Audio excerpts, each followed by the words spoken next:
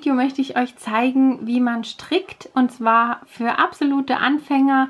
Ich möchte euch ganz nah und langsam und deutlich zeigen, wie Stricken geht. Und das haben sich ganz viele gewünscht, nachdem ich mein Babysockenstrick-Video gemacht habe. Deswegen heute dieses kleine Tutorial für absolute Anfänger. Ich hoffe, ihr findet Spaß daran und lernt mit mir zusammen das Stricken. Ich zeige euch in diesem Video, wie man so ein kleines Strickstück herstellen kann. Das eignet sich perfekt zum Beispiel als Maschenprobe, um später die Maschenanzahl zu ermitteln für ein Strickstück. Und ähm, ihr könnt natürlich auch ein Schal so beginnen oder auch einfach nur das Ganze als Übungsstück nehmen. Ich werde in diesem Video zeigen, wie man anschlägt am Anfang. Ich werde euch zeigen, wie man bei diesem Rechteck ähm, einen geraden Rand bekommt, ohne dass der sich hochrollt. Ich zeige euch rechte Maschen, linke Maschen und natürlich auch, wie ihr die Arbeit beendet und abkettet. Also viel Spaß bei der Anleitung und viel Erfolg! Was ihr dafür braucht, ist euer Garn, am besten mittleres. Ich habe jetzt hier eins, was nicht zu dünn und nicht zu dick ist. Und das ist so für Nadelstärke 6, 7.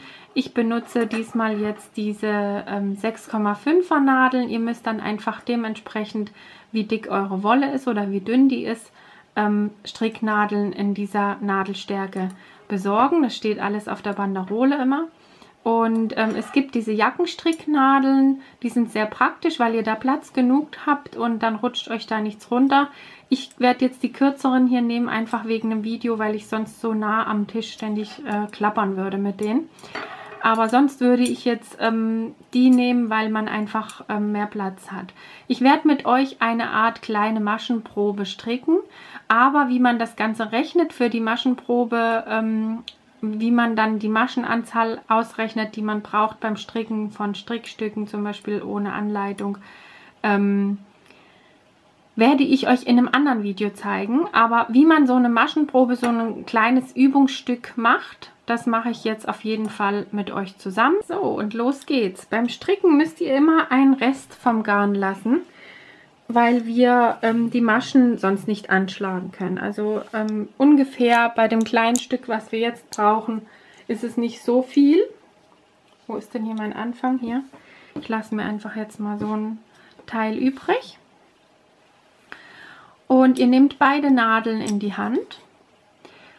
Und ähm, wir machen am Anfang eine Schlaufe. Die Schlaufe mache ich so hier. Ich lege das einfach oben drüber und dann nehme ich mir einfach hier äh, den Faden und ziehe dran. Und die hängt ihr jetzt auf beide Nadeln drauf und zieht fest. Das ist unser Anfang jetzt. Und wenn ihr jetzt hier den Rest nach unten legt, das ist mein Rest hier, und der Faden, der vom Knäuel kommt, den lasst ihr hier oben. Dann geht ihr mit Daumen und Zeigefinger einfach unter diesen, diese beiden Fäden drunter und legt hier unten beide mit der Hand zusammen. Also ihr packt euch einfach beide Fäden, so dass ihr die fest in der Hand habt.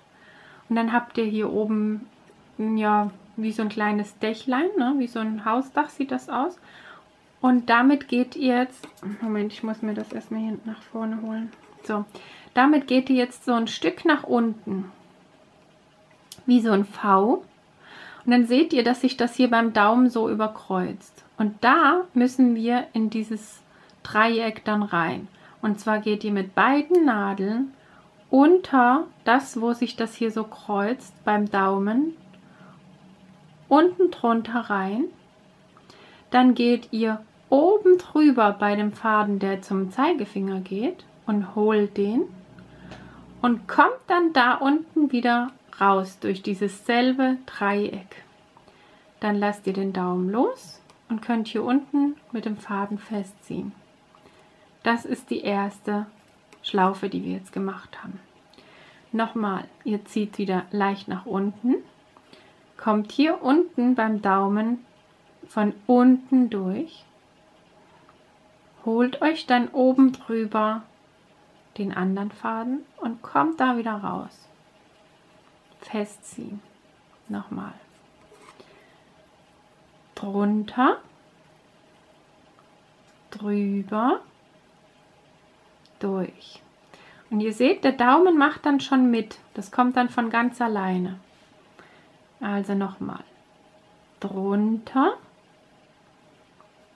drüber und durch. Also einfach da wieder raus, wo ihr rein seid. Drunter, drüber, durch und festziehen.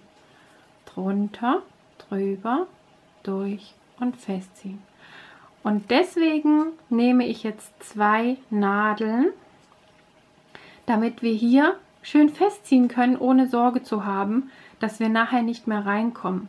Weil wenn wir nur eine Nadel nehmen, zieht sich das einfach viel zu fest und ihr habt Probleme nachher reinzukommen.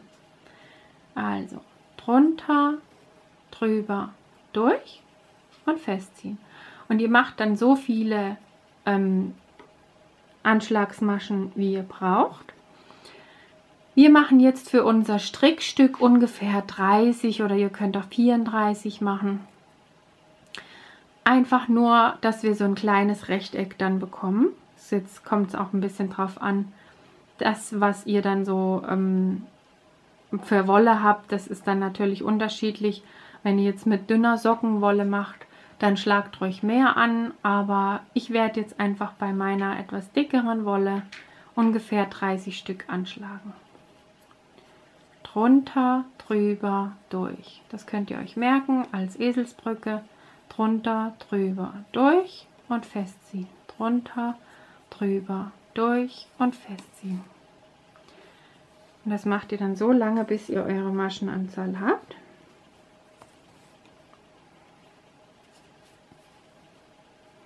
Wenn ihr das hier merkt, dass das zu lang wird, dann könnt ihr einfach nochmal nachgreifen. Ihr geht wieder mit beiden Fingern drunter und hebt dann so an und greift hier unten fest. 1, 2, 3, 4, 5, 6, 7, 8, 9, 10, 11, 12, 13, 14, 15.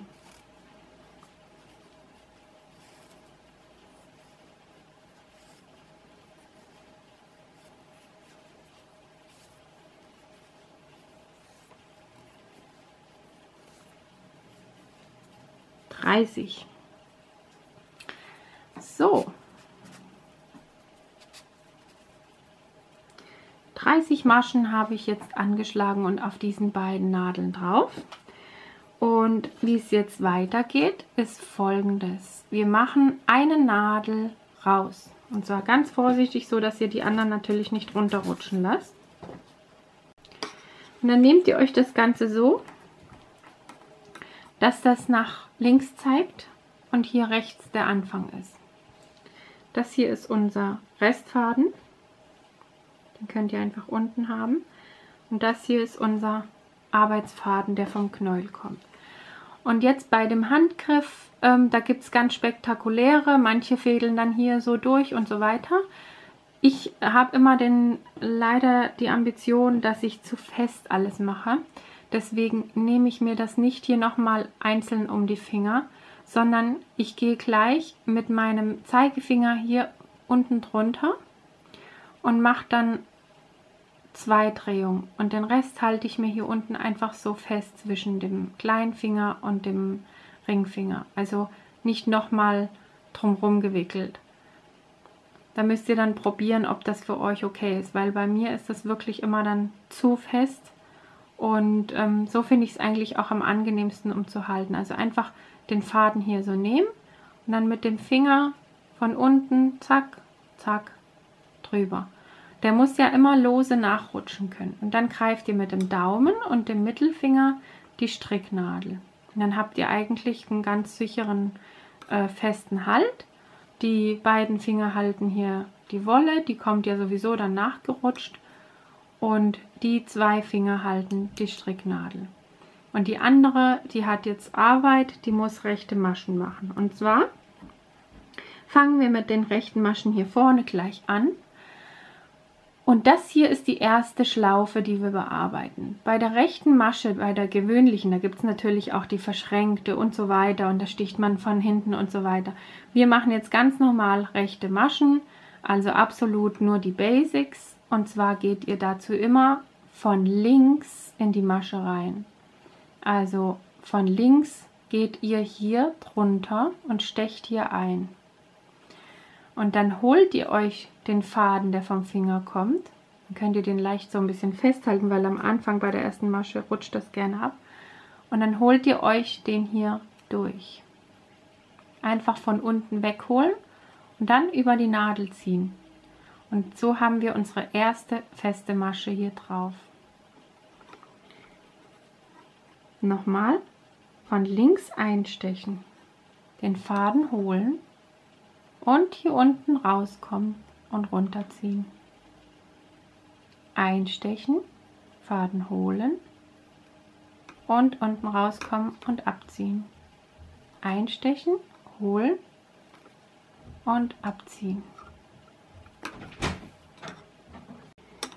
Und nochmal von links einstechen, dann den Faden hier hinten holen und von unten durchziehen und dann abziehen von der Nadel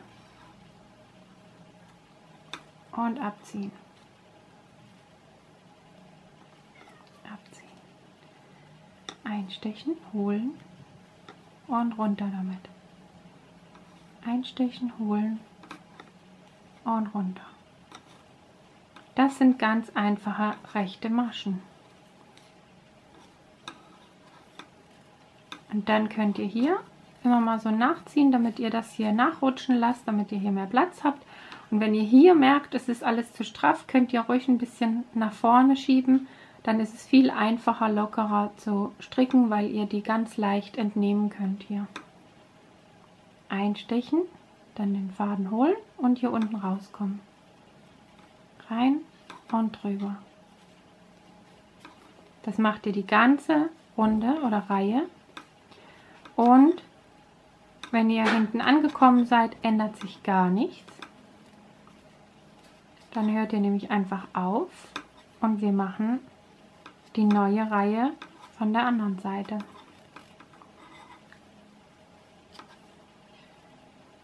So.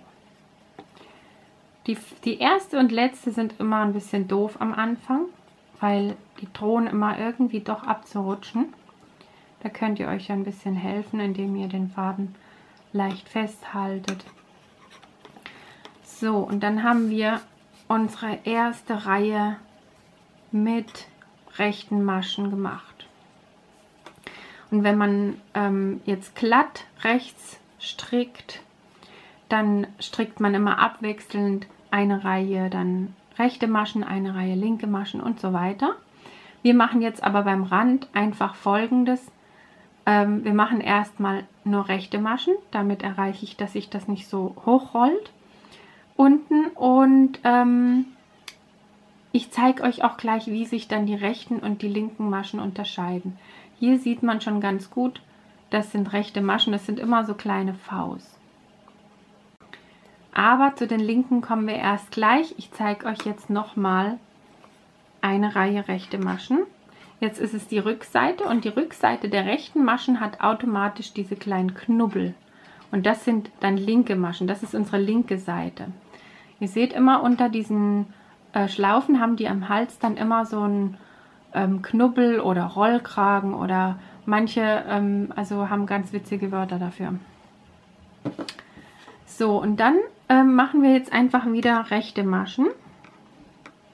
Ihr habt diesen Faden jetzt hier unten so hängen. Der kommt sozusagen von vorne, weil es ist jetzt eigentlich eine linke Masche hier hinten. Aber den nehmen wir uns wieder hier unten raus, nach hinten. Und wieder auf den Finger drauf, die Position wieder einnehmen, ein bisschen nachholen hier, damit das Ganze lockerer ist. Und wir machen einfach wieder rechte Maschen. Manche machen das auch so, dass die die erste Masche in der Reihe immer nur abheben. Da wird dann einfach nur eingestochen und rübergeholt auf die Nadel. Ich mache das nicht so. Das, da gibt es verschiedene Möglichkeiten, den Rand zu machen. Ich stricke die erste Masche immer. Also gehe ich wieder hier von links in die Masche rein, hole mir den Faden und komme hier unten wieder raus, wie gehabt einstechen von links, Faden holen und rausziehen. Und ihr werdet merken, wie von ganz alleine durch Übung die Finger so ein bisschen mitmachen. Und dadurch wird man immer schneller und immer perfekter. Und das flutscht dann irgendwann nur noch von ganz alleine. Das, was euch jetzt sehr komisch und verwirrend vorkommt, wird nachher fast automatisch funktionieren. So, und ihr macht die rechten Maschen bis zum Ende dieser Reihe wieder weiter. Achtet darauf, dass ihr möglichst gleich fest strickt, wenn ihr das schon könnt. Am Anfang ist man doch immer sehr verkrampft, da fällt einem das noch ein bisschen schwer. Aber da kann man schon jetzt bei diesem Übungsteil darauf achten, dass man das so ein bisschen einhält. Weil das gibt dann nachher das gleichmäßige Strickbild, wo alle Maschen gleich aussehen. So, aber das kommt von ganz alleine. Hier sortiert ihr euch das wieder, dass Platz ist. Das sind jetzt die letzten Maschen.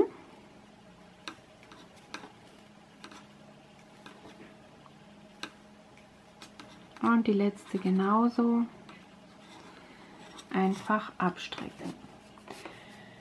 Und jetzt seht ihr, wenn ich das Ganze hier umdrehe, haben wir jetzt hier auf der Rückseite von diesen rechten Maschen auch wieder die Knubbel, weil das eben die Rückseite ist und das dann wieder die linke Seite wäre. So. Und jetzt, wo wir unseren Rand erstmal so haben, dass das nicht mehr so gerollt ist, fangen wir auch an mit linken Maschen. Und zwar seid ihr jetzt auf der richtigen Seite, um linke Maschen zu machen. Der Faden kommt hier von vorne raus. Ihr habt die Knubbel in der vorherigen Reihe. Und da machen wir jetzt linke Maschen. Ihr habt den Faden hier vorne. Und da bleibt er jetzt auch. Das heißt, wir nehmen den Faden auf den Finger und lassen den Faden auch hier vorne, wo er ist. Jetzt ist das bei den linken Maschen einfach so, dass man ein bisschen mehr Übung braucht. Und gerade die erste in der Reihe ist immer ein bisschen doof. Aber ich hoffe, ich kann das gut zeigen. Und zwar gehen wir, ich ziehe das jetzt hier so runter mit dem Finger, damit ihr das besser sehen könnt, von rechts in die Schlaufe rein. Und wir legen den Faden jetzt quasi um unsere Nadel. Also ich habe den jetzt hier drum, halt ein bisschen fest, damit ihr das besser seht. Und lege den so, dass der sich anlegt an meine Nadel, indem ich den Finger so mit der Bewegung nach unten mache. Und dann gehe ich rechts auch wieder raus aus der Masche. Zack, haben wir die erste linke Masche. Faden wieder vorne lassen. Nochmal. Ich zeige es euch von hier oben, glaube ich, besser, oder? Also, Faden liegt vorne. Ich gehe hier von rechts rein. Und dann wollen wir, dass der Faden sich anlegt. Also einfach den Finger nach vorne bewegen. Und dann rechts wieder raus. Wieder rein. Faden drumrum legen und raus. Also nicht drumrum, aber dass der halt anliegt. Dann gehe ich wieder rein, klappe den Finger nach vorne und dadurch legt sich dieser Faden, ich hoffe ihr seht das, hier so drumrum. Dann gehe ich wieder raus nach rechts. Einstechen, da ist der Finger hinten. Dann gehe ich mit dem Finger nach vorne und habe den Faden dann um die Nadel drumherum und gehe wieder raus. Rein, nach vorne holen den Finger und raus. Rein, nach vorne legen und raus. Rein, nach vorne legen und wieder raus. Ich hoffe, dass ihr das gut hinbekommt. Probiert es mal aus. Ich kann es nochmal von hier oben vielleicht zeigen. Ich habe den Faden hier vorne und gehe rein. Dann mache ich mir den Faden sozusagen mit dieser Bewegung, mit dem Finger nach vorne, schlinge ich den da so drumrum und gehe wieder von dieser Seite rein und hier raus. Könnt ihr drauf tippen auf die Nadel, dass das besser abrutscht. Dann holt wieder welche nach, umso leichter geht's. Also von rechts gehe ich rein, klappt mir den Faden hinten drunter gehe von links rein und hole den darunter. Ich gehe rechts rein, mache den Faden runter und gehe links rein und rechts wieder raus. So, so, so und so. Da rein, drum legen, da raus. Das ist eigentlich eine ganz fließende Bewegung, die man dann auch ganz schnell hinbekommt. Da rein, drum legen und da raus. So, und damit haben wir unsere erste Reihe mit linken Maschen fertig. Und das Tolle ist, dass die linke Masche vorne ein Knötchen hat, wie ihr es schon gesehen habt bei der Vorreihe hier. Und hinten natürlich dieses kleine V hat. Hier. Das sind dann nämlich unsere, das ist unsere Seite, die ab jetzt unsere rechte Seite ist. Und immer wenn ihr diese kleinen Vs hier vorne seht, bei der vorherigen Reihe, macht ihr rechte Maschen. Das heißt, wir wechseln jetzt immer ab. Ihr geht jetzt wieder von vorne, der Faden liegt wieder hinten, von vorne wieder rein wie gehabt und macht rechte Maschen, weil wir jetzt auf der Seite sind, wo die kleinen Vs sind. Und da machen wir die rechten Maschen.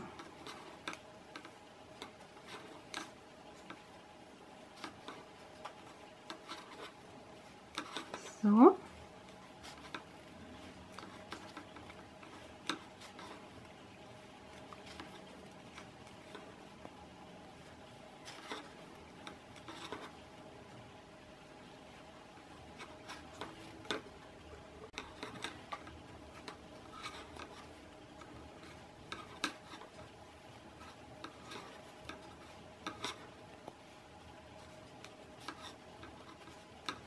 und die letzte. Dann seht ihr, dass wir hier eine Reihe mit den kleinen Vs hinzugefügt haben. Wir drehen aber jetzt um.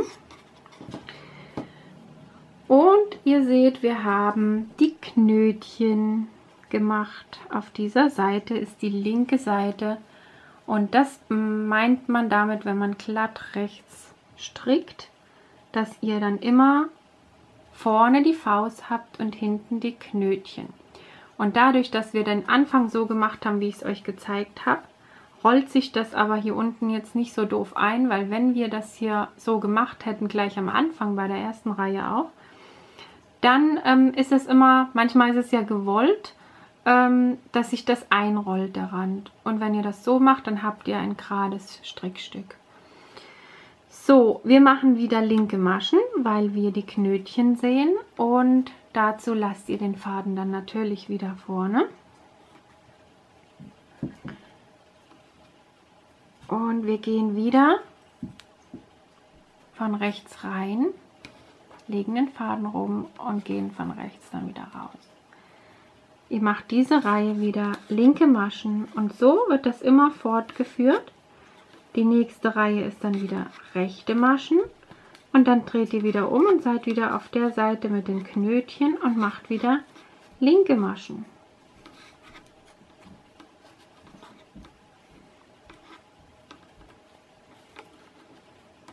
So, nachrutschen lassen. Und dann wechselt ihr das immer so ab. Und für eine Maschenprobe reicht das eigentlich, wenn ihr das so ähm, ab jetzt noch so 5 cm weitermacht. Das reicht völlig aus. Dass ihr dann so 5 cm Höhe bekommt. Und wie man diese Maschenprobe dann ausrechnet, zeige ich euch dann wie gesagt in einem anderen Video. Aber ihr könnt ganz wunderbar erstmal euer Rechteck so weiter stricken, bis ihr euch ähm, relativ wohl fühlt dabei und die Hände auch ein bisschen locker lassen könnt. Das ist halt am Anfang ungewohnt, aber ihr werdet sehen, Übung macht bekanntlich den Meister. Und ich glaube, wenn man ein bisschen Geduld hat, ist das alles möglich.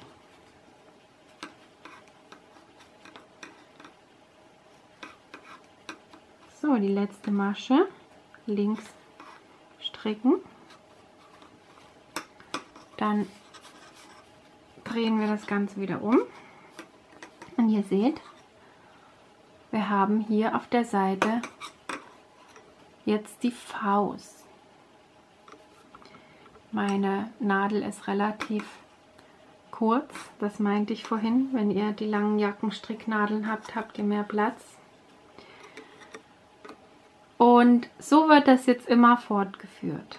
Ihr macht auf dieser Seite, wo ihr die Faust seht, wieder rechte Maschen.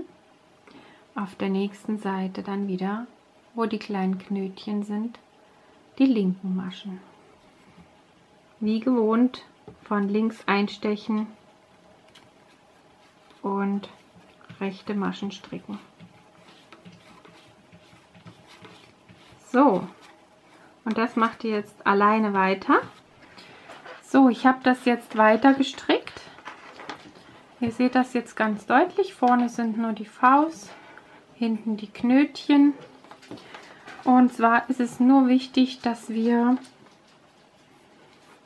gleich muss aufpassen hier, ähm, in der Höhe dann in diesem, ähm, in diesem Rechteck mindestens 5 cm flach ausmessen können, also vom Rand entfernt jeweils. Und in die Breite 10. Also das braucht man für eine Maschenprobe. Ihr wollt ja natürlich jetzt erstmal so ein Übungsstück haben, aber das schon mal für die, die ähm, eine Maschenprobe da draußen machen wollten. So, also ich habe das insgesamt, kann ich euch nochmal messen, insgesamt knapp 10 cm hoch gestrickt. Und ich werde euch jetzt zeigen, wie man den Abschluss oben macht, wie man das abkettet und damit das dann ähm, eben, damit die Arbeit beendet ist, damit ihr dann wisst, wie das geht, wenn ihr fertig seid, zum Beispiel mit einem Schal. Das wäre jetzt eine schöne Breite für einen Schal gewesen, wie ihr den Schal auch beenden könnt. Und hier unten seht ihr deutlich, dass es jetzt gerade bleibt und nicht hochrollt. Und ähm, sonst, wenn wir das jetzt gleich mit linken Maschen gemacht hätten bei der ersten Reihe auch, dann würde sich dieser Rand so ähm, hochrollen automatisch. Und so bleibt der schön flach. Um jetzt das Ganze zu beenden, stricken wir die ersten beiden Maschen rechts. Eins und zwei. Und dann machen wir folgendes. Wir heben die erste Masche über die zweite. Also wir ziehen dann hier die Nadel raus. So. Dann stricken wir wieder eine und heben die erste Masche, die wir haben, über die andere drüber. Dann wieder eine stricken und wieder die hinteren nehmen und einfach hier drüber heben und die Nadel unten raus. Immer eine stricken und die andere drüber heben, so dass ihr dann automatisch immer nur eine Schlaufe auf der Nadel habt. Und das müsst ihr ganz locker machen, ansonsten habt ihr da oben einen ganz straffen Rand und das wäre nicht so schön. Und so geht ihr den ganzen Rand entlang.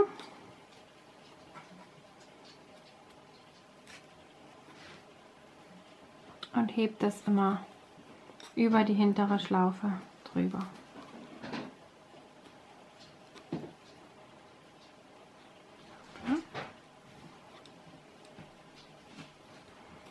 So, da könnt ihr richtig locker stricken.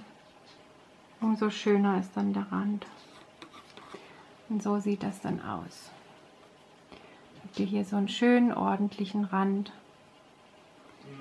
und habt das beendet. Und dann habt ihr alle Maschen, wenn ihr hinten angekommen seid, abgekettet. Dann zeige ich euch gleich, wie ihr den Faden noch beenden könnt.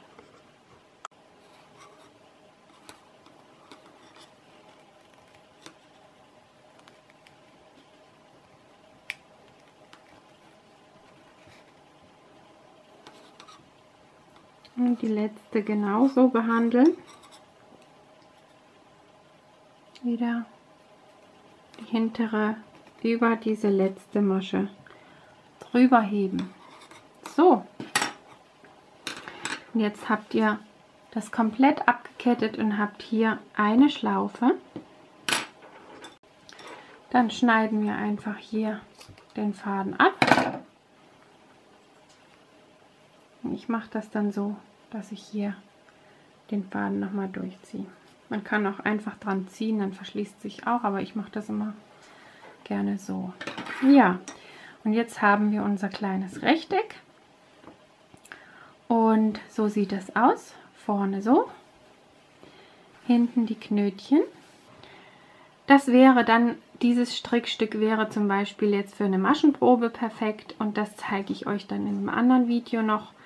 Und ähm, ist natürlich ganz wichtig, wenn man ähm, wissen will, wie viel Maschen man anschlagen muss.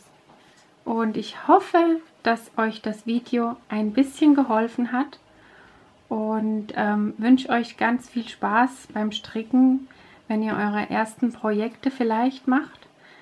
Ähm, ich hoffe, dass ihr dieses schöne neue Hobby erlernen könnt. Und ähm, wie gesagt, ich habe ein Video zum Babysockenstricken, was aber genauso ist wie für Erwachsenensocken gemacht, also mit Käppchenferse und so weiter. Und ähm, das wäre ähm, für die, die Socken stricken lernen wollen, absolut das Richtige, um anzufangen.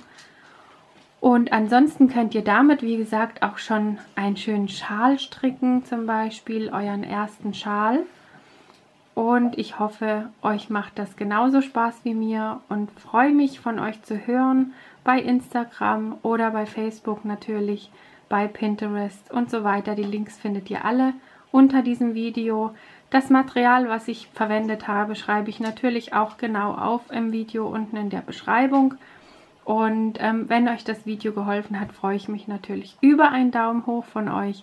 Abonniert meinen Kanal, wie immer, wenn ihr es noch nicht gemacht habt und aktiviert das Glöckchen, damit ihr benachrichtigt werdet, wenn ich ein neues Video habe.